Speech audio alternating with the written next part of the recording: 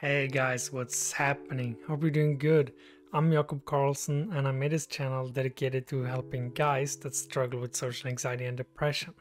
In today's video, we will be talking about three lies that depressed guys believe and that I also used to believe while I was struggling. Now, discovering these three detrimental lies and then internalizing the truth was and is still key for me in having a good mental health. With that being said, let's start off with lie number one. So, lie number one is that men can't or shouldn't express weakness. Let's take a quick look at King David, who lived around a thousand years before Christ. Now, David was a king, a conqueror, a leader of the Israeli army who enlarged his country's territory through battle, and as many of us know, as a young man went bravely up against the giant Goliath and killed him. Now, before he would become king, David was basically blacklisted from his own country, where he lived in constant hiding in caves and had a company of outlaws. Now, this king, this leader of outlaws, and eventually the nation Israel would say this in his laments But I am a worm, not a man, scorned by everyone, despised by the people. I am poured out like water all my bones are out of joint. My heart has turned to wax, it has melted within me. Now, if a king, a conqueror, a warrior is able to express his inner turmoil this way, what makes you think that you can't? I'll leave you with this question in mind as I go on to line number two. So, line number two is that life should feel good. Now, life doesn't and it should not always feel good. Guys spend way too much time avoiding bad feelings, not knowing the price for stuffing their emotion is apathy. Now, apathy is a state of mind when people stop caring about life in general. They stop taking showers, brushing their teeth, or taking care of their health. Now, many men believe the fallacy that their emotions are just weaknesses and that having a weakness is connected to being unattractive.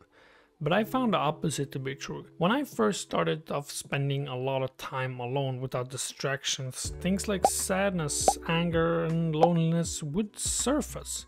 Now, is this because being alone for a set amount of time is lonely? It's sad or it's frustrating? No, it's because I had unresolved issues which people and substances would cover up. Now I feel mostly at peace and enjoyment alone, but that is only because I take the time to acknowledge and process my emotions when they appear. It's about creating a healthy life with yourself, accepting who you are and how you're feeling at this very moment. Line number three is that your problems are too big for the world to handle. Now, the world has seen some dark, dark times. You have the millions dead in the Soviet gulags, you have the millions dead in the regime of Mao, and you have the millions dead in the German concentration camps. And then there is your sadness. Somewhere out there, there are someone who have been through something like you have or worse and recovered. They might want to give you an advice or two, but as long as you keep everything to yourself and assuming they're not wizards, they won't know. Now, it's fairly common to have some sort of mental health issue, yet it seems even more common to believe that no one cares, no one understands, or no one would be able to handle the truth of how you're feeling. Therefore, yes, understand that you might have a problem, but in the history of the world, there is nothing that can't be talked about.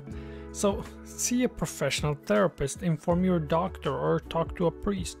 These are people that have dedicated their lives to help you live yours. Now, these were the three lies that I wanted to talk about today, and by sharing them with you, I hope you can fast forward in your journey of getting free. Also, if you like the content, hit the like button on the video so that I can know you appreciate it, and subscribe to my channel if you haven't already. I will be making more content like this, and I'm excited to share it with you guys. Also, if you had a stressful day, go ahead and watch my cabin trip video. It's mainly just me spending time alone, outside in the cabin with some background music and sounds. Anyways, that's it for now, guys. Hope you have a good day, and I'll talk to you soon.